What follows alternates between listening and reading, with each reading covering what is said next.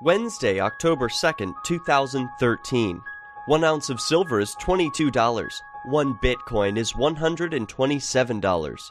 Peace News Now is brought to you by Bitcoin from friends of WeUseCoins.com.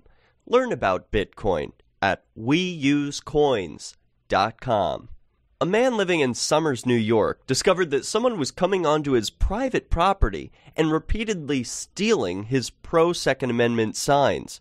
To catch the perpetrator, the gun rights advocate purchased a security camera and placed it near the entrance to his driveway, where he placed the signs and filmed away. Sure enough, the sign was stolen again, but this time the homeowner had the evidence he needed to find out who the sign thief was. It turns out the thief is a law enforcer. The homeowner captured several photos of the law enforcer pulling up to his property, kicking over his sign, and placing it in the back of his squad car. He posted the whole thing online the night it happened. What would you do if local law enforcers were stealing from you? Share your thoughts on the Peace News Now Facebook page. Speaking of armed bureaucrats taking things without permission, law enforcers in Massachusetts recently stole all three of Matthew Plouffe's firearms. Even though he followed all the laws, the law enforcers claim that Matthew is too immature to own guns. They went to his home and confiscated his two shotguns and rifle. He's suing the city and the police chief to get them back. Thank goodness Matthew is peaceful. Not everyone would let armed bureaucrats walk into their homes and take their guns.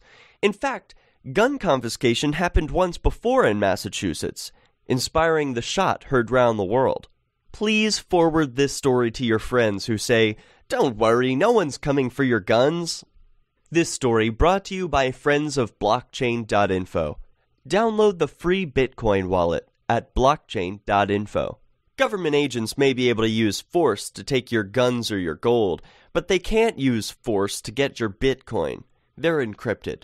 But how to turn cash into Bitcoins? Go to cashintobitcoins.com and click Get Bitcoins. It's the only button. You can't miss it. A short form asks you for the important information your email address, the bank you want to use, the deposit amount, and the address where you want the Bitcoin sent. An exciting new feature of this form is the question Would you like to donate your fee? If you answer yes, the question Where would you like to donate your fee will appear. If you choose to donate, a portion of your fee will either go to Bitcoins Not Bombs or Sean's Outpost. Confirm all the information is correct and agree to the terms, which are only about a paragraph long, and you're set.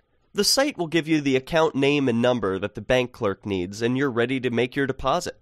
Once you get your receipt, snap a photo including the transaction ID, account number, store number, deposit amount, and date, and send that to transactions at cashintocoins.com, and you're done. Your Bitcoin should hit the blockchain within 30 minutes to 4 hours. As Davi Barker points out at bitcoinnotbombs.com, this means that people and organizations who want to donate Bitcoin to Bitcoin based charities can now do so using Federal Reserve notes thanks to cashintocoins.com. Try it out and tell us how it works for you at our Facebook page. Speaking of Bitcoin, Free State Project participants are now able to pay rent in Bitcoins. Matthew Ping of Porcupine Management thinks alternative currencies are a perfect fit for the FSP, as both are decentralized and represent independence. Ping collects the majority of rent money from tenants in person, so he uses a smartphone app to receive payments from those who want to pay in Bitcoin.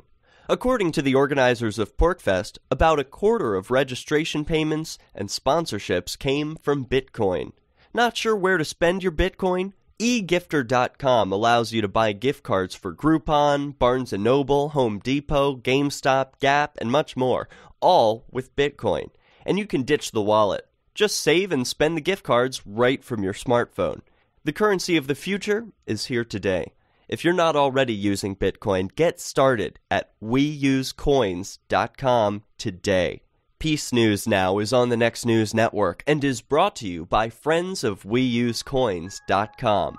Share this episode with your friends, and if you enjoyed it, send some Bitcoin to donate.peacenewsnow.com. I'm Derrick J, reminding you that peace is the way.